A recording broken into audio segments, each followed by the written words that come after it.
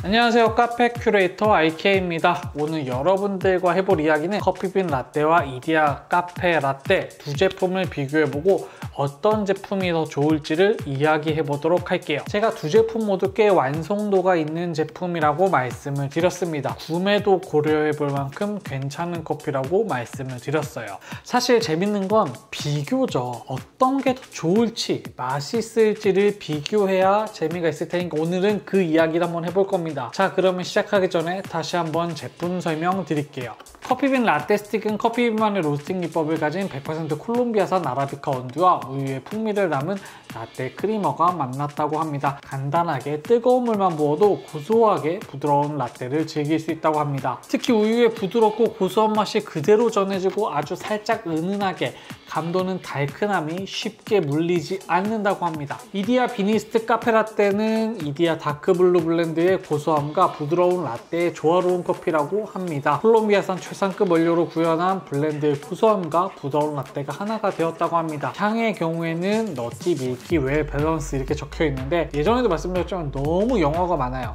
견과류, 우유향, 뭐 조화로운 그런 의미로 받아들이시면 될 것 같아요. 자 가격을 말씀드리면요. 마켓컬리 기준으로 커피비는 10개에 4,300원, 이디야는 10개에 3,400원입니다. 얼추 1,000원 가까이 이디야가 좀 저렴합니다. 맛은 1,000원 차이가 나느냐 안 나느냐 이 문제겠죠. 과연 1,000원을 더 주고 어떤 걸 사 먹을지 혹은 이걸 안 써도 되는지 이걸 이야기해 볼 겁니다. 자 그럼 이제 커피를 본격적으로 마셔볼 준비를 해보죠. 제가 인스턴트 커피에서 가장 강조하는 건 바로 물입니다. 물이에요. 물이 가장 중요하다는 말씀 여러 번 드렸는데요. 두 제품 모두 다 물은 100ml를 부으면 됩니다. 이런 인스턴트 커피 리뷰를 위해서 제가 컵 한 종류를 더 마련을 했어요. 이 컵은 이제 이렇게 눈금이 적혀 있어서 좀 더 물량을 정확하게 볼 수 있게 되었죠. 참고로 이 컵은 컵 하나에 약 4,000원 정도 합니다. 굳이 뭐 이 컵에 드실 필요 없어요. 이런 거에 또 관심 있으신 분들이 있어서 제가 좀 설명을 드렸습니다. 그러면 준비를 한번 해보도록 할게요. 자, 양쪽 다 물을 100ml씩 부었고요.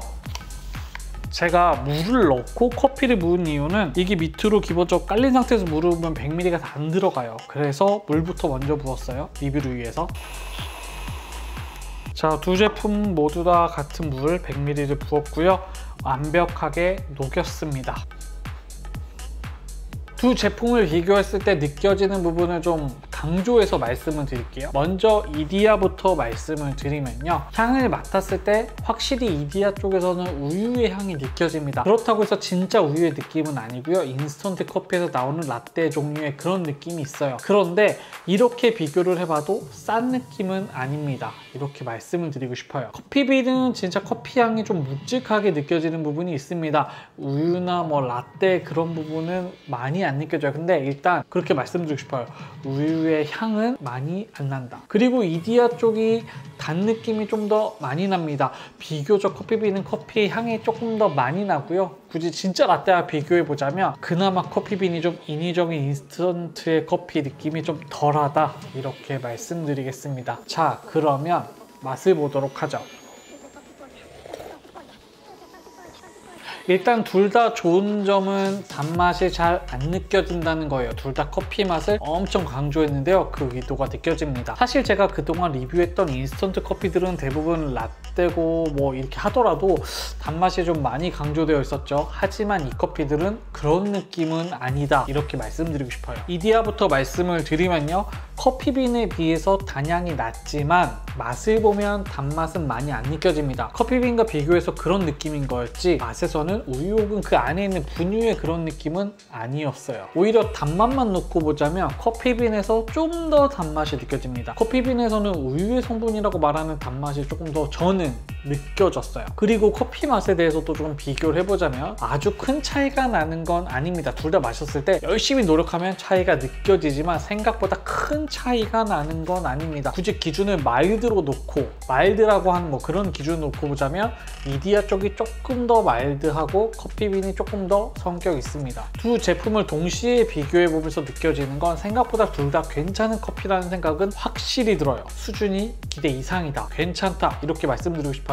나쁘지 않고요. 괜찮습니다. 저는 좋은데요. 두 제품을 뭔가 어떤 게 더 좋다, 구매를 해야겠다, 비교를 해야 되는 게 아니라면 정말 괜찮았어요. 아, 커피빈도 생각보다 정말 커피 맛이나 이런 부분 되게 안정적이었고요. 또 이디아도 마찬가지였고요. 그러면 최종 정리해 보도록 할게요. 어떤 게 더 좋았느냐? 저는 둘 다 좋았습니다. 우열을 가리기 어려울 정도로 둘 다 괜찮았다고 말씀드리고 싶어요. 우리가 알고 있는 이런 라떼 종류의 스틱 커피 중에서는 정말 괜찮은 수준이다. 인스턴트 커피 또는 단 커피를 싫어하시는 분들에게는 정말 대안이 될 만큼 괜찮은 커피다. 이렇게 말씀을 드리겠습니다. 우열을 가릴 수 없어요. 자 그러면 둘 중에 하나만 구매해야 된다면 어떤 걸 구매하겠느냐? 저는 둘 다 맛에서는 비교나 우위가 없다고 생각을 하니까 저렴한 걸 구매하겠습니다. 제가 마켓컬리에서 구매를 할 때는 이디야가 조금 더 쌌거든요. 그래서 이디야 카페라떼를 구매하는 게 좋을 것 같아요. 둘 다 뭐 한 번씩 구매하는 것도 괜찮다. 적어도 무료 배송을 위해서 좀 맞춰야 되는 금액들 있잖아요 그럴 때 아이템을 추가했을 때 이거는 충분히 넣어도 괜찮다라고 말씀드리고 싶습니다. 자, 오랜만에 인스턴트 커피를 리뷰했습니다. 제가 요 근래 영상을 많이 못 올렸습니다. 다시 열심히 잘 올리도록 할게요. 기대해 주시고요. 앞으로도 여러분의 커피 생활에 도움이 드릴 수 있도록 열심히 노력하겠습니다. 더 많은 커피가 궁금하시다면 좋아요와 구독, 알람 설정까지 해서 더 많은 커피 이야기 확인해 주세요.